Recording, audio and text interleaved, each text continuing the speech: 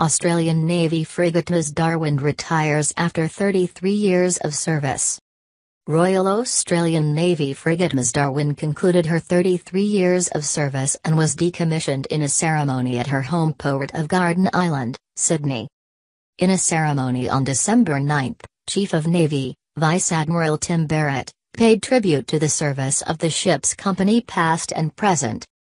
Darwin has laid down a proud history over her 33 years, Vice Admiral Barrett said. The ship and her successive companies have served Australia with distinction, being awarded battle honours three times for successful maritime security operations. It is through the hard work and dedication of the crews who have called Darwin home that made this frigate so effective over such a long career. Since commissioning in 1984, the Adelaide-class frigate has steamed over a million nautical miles, visited more than 50 countries, and undertaken operations in the Middle East, East Timor, and the Solomon Islands.